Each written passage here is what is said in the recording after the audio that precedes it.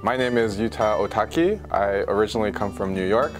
I have been a teacher for about 10 years for English and this year I will be a language fellow in Malang, Indonesia.